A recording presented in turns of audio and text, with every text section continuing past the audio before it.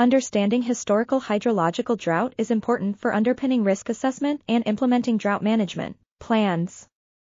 This study provides a systematic analysis of hydrological drought in the United Kingdom over the past 50 years.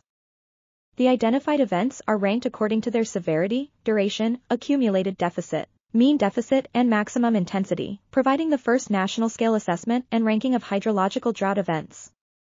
The identified events have important regional significance, such as those in 1921 and 1984, which were important in the southeast and northwest of the UK, respectively.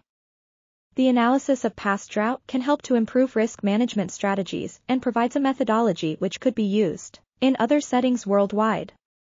This article is titled Historic Hydrological Droughts 1891 to 2015, Systematic Characterization for a Diverse Set of Catchments Across the UK and was authored by J. Barker, Hannaford, Hannaford, Parry, Smith, Tanguy, Prudhomme, and others. We are RTCL.TV. Article links can be found in the video description.